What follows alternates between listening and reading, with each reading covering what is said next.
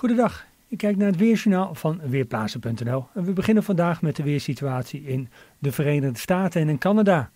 Daar is het namelijk bijzonder koud weer. Dit zijn de temperaturen en een kleur van blauw en lager geeft een temperatuur aan van 0 graden en lager. Donkerblauw zelfs min 15 graden en kouder. Extreme kou in een groot deel van de Verenigde Staten, ook in bijna heel Canada. Maar het is niet het enige wat daar gebeurt. Het is niet alleen koud. Er valt ook heel veel sneeuw op sommige plaatsen. Dat geldt met name voor het gebied rondom de grote meren. Het ligt aan een lage drukgebied.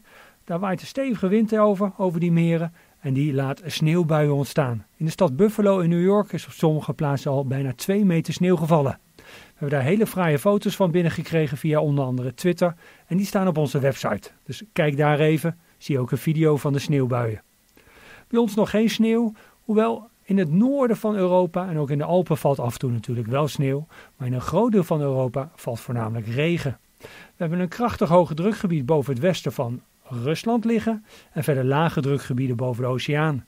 als we kijken hoe die gaan bewegen de komende 48 uur, nou, dan zien we dat het hoge drukgebied lange tijd boven Rusland blijft liggen, maar in de loop van donderdag begint die in omvang af te nemen. Verliest dan zijn grip op het weer in Scandinavië, ook in onze omgeving, en dan moeten we langzaam naar de Atlantische Oceaan kijken, want daar komen dan lage drukgebieden dichterbij. De lage drukgebieden blijven in de buurt van Ierland en IJsland, maar het slechte weer wat erbij hoort, dat komt langzaam onze kant op. De wind gaat daardoor bij ons draaien van de oost in het weekend geleidelijk naar zuid en daardoor gaan de temperaturen omhoog. Geen winterweer dus. Maar toch, vanavond en vooral komende nacht kan het lokaal wel koud worden. Er zijn veel wolkenvelden, onder het wolkendek wordt het vannacht een graad of drie, maar daar waar het echt opklaart, daalt de temperatuur tot uh, dicht bij het vriespunt en dan kan het aan de grond zelfs licht vriezen. De meeste plaatsen dus temperaturen die ruim boven het vriespunt blijven en dan blijft het wolkendek ook vrijwel gesloten. Ook morgen overdag veel wolkenvelden, maar ik verwacht toch vaker de zon dan vandaag. Vandaag scheen de zon alleen in de noordelijke provincies heel even. Morgen zou dat op meer plaatsen moeten lukken. In het noorden een temperatuur van 8 graden, in Zeeland 10 graden en de wind waait uit het oosten nog steeds met 2 tot 3 boven. Vrijdag ook nog een oostenwind, maar daarna verliest het hoge drukgebied zijn grip op ons weer. Vrijdag eerst af en toe zon, later op de dag vanuit het westen meer bewolking en dan vooral in het westen en noorden kans op wat regen en motregen. Zaterdag wordt de wind zuidoost, zondag zuid tot zuidoost en dan gaan de temperaturen omhoog en komen ze op 10 graden en hoger uit. Er is zelfs een enkel model dat voor Limburg 15 graden uitrekent. Geen winterweer dus de komende dagen.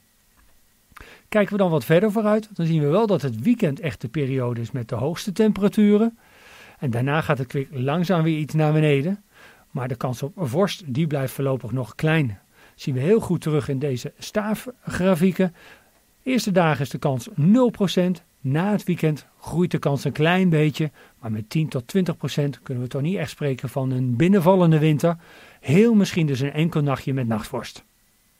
Bij ons dus voorlopig geen winterweer, maar oplopende temperaturen. Ik ben Michiel Severin van Weerplaza.nl